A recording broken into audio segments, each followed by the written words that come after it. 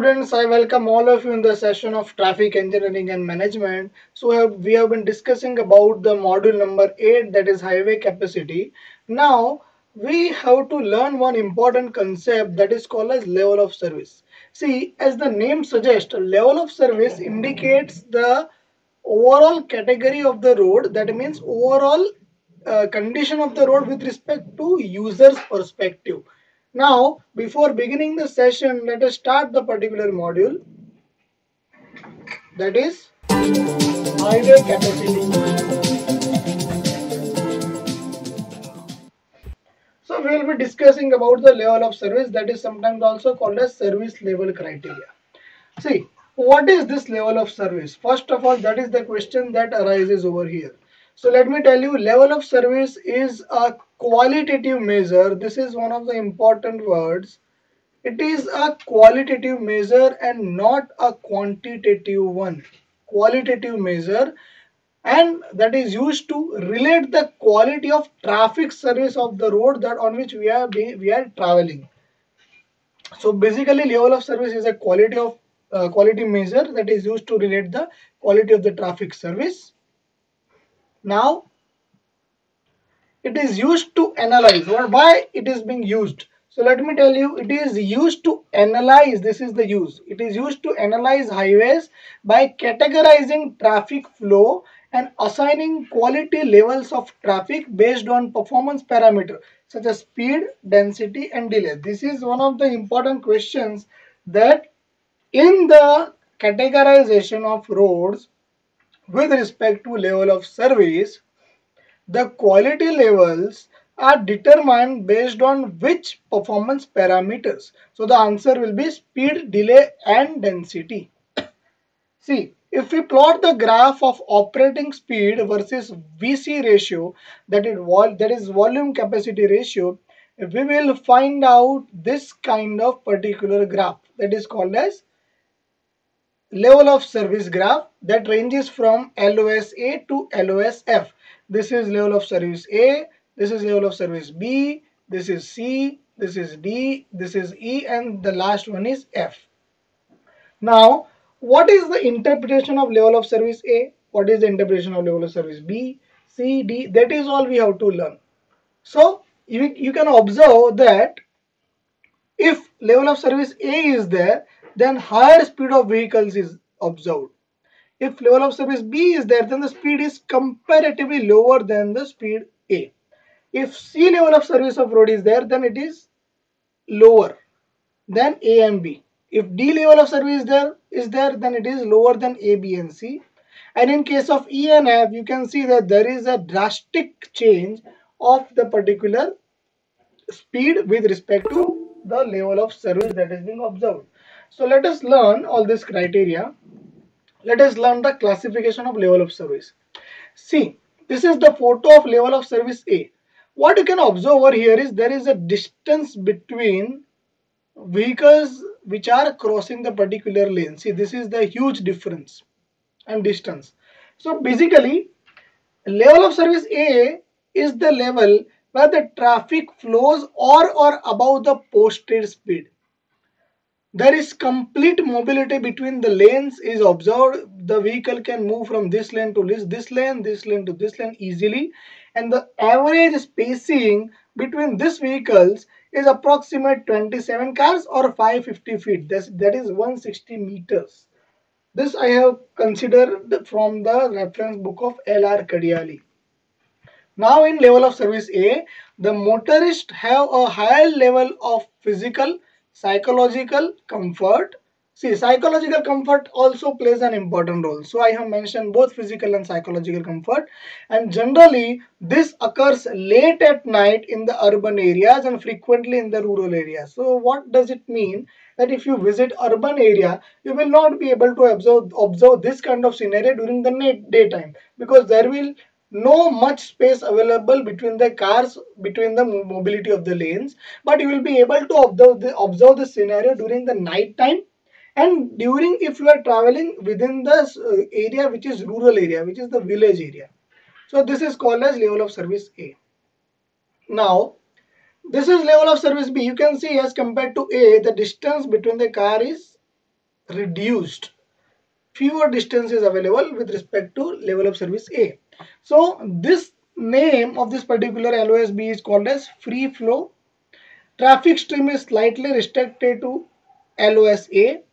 See, in LOSA there were the distance of 27 cars. Now here it is the distance is 16 cars. So it has been reduced from 27 to 16 from A to B.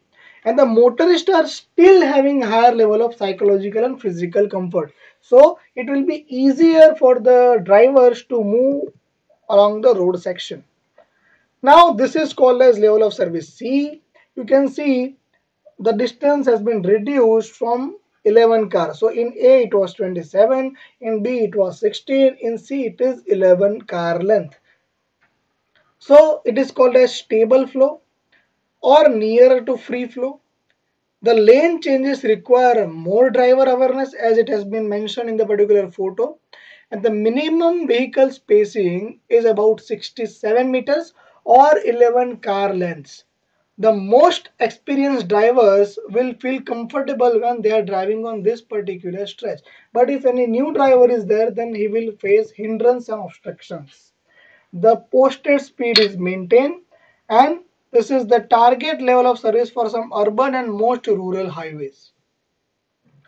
Now comes level of service D. You can see there is the unstable flow. The distance has been reduced from 27 to 16 to 11 to approximate 8. You have to remember this criteria. Now the word maneuver means to rotate or to change the steering direction. So it has been written that freedom to maneuver within the traffic stream is much more limited in this particular case. The comfort level of the driver also decreases. Vehicles are spaced about approximate 160 feet or 8 car length is there.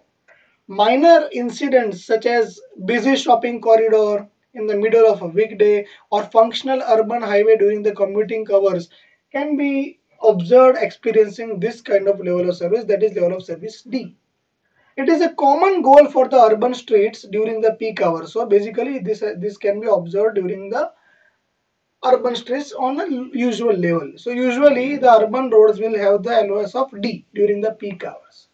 Attaining LOS C would require prohibitive cost and societal impact in bypass road and lane addition. So means what does it mean? That if you want to increase the LOS from D to C, from this to this, then we have to provide increased cost and we have to provide the additional lanes and bypass roads if you want to enhance the capability to LOSD.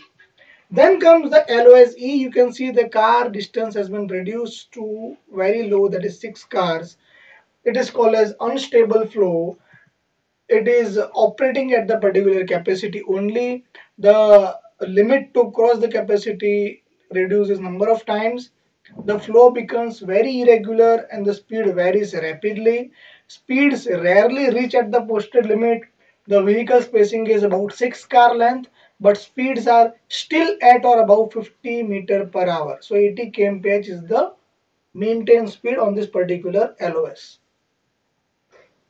Any incident will create serious delay if any smaller hindrance or obstruction is placed between the particular movement of the road so it will create a very huge delay that you might have observed number of times at the Shyamal Crossroad or Prahlad Nagar that if any small particular uh, incident is being caused by any of the vehicles then it can create the delays for number of hours to the vehicles.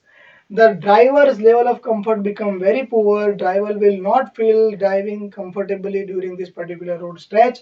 And it is a common standard in the larger larger urban areas such as ahmedabad and baroda and surat and rajkot where some roadway congestion is inevitable. No matter how many measures you are providing it will be very difficult to reduce this kind of inevitable situations so basically this is called as level of service e this is called as unstable flow.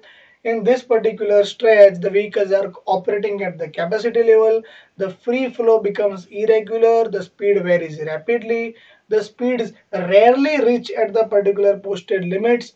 Vehicle spacing is about 6 cars per length. Then the speeds are still at or about 50 meter per hour. That is approximate 80 kmph. Any incident that is uh, being observed on the particular stretch will create serious delays driver's level of comfort will become poor and this is a common standard in larger urban area where some roadway congestion is inevitable so basically this is all about LOSE now let us discuss about level of service F this is the that is called as the forced flow or worst scenario. You can see that how this particular you can observe that how this particular thing is being done that there is no space between the vehicles. So it is called as forced or breakdown flow. In this kind of particular level of service every vehicle moves in lockstep with the vehicle in front of it. The travel time cannot be predicted.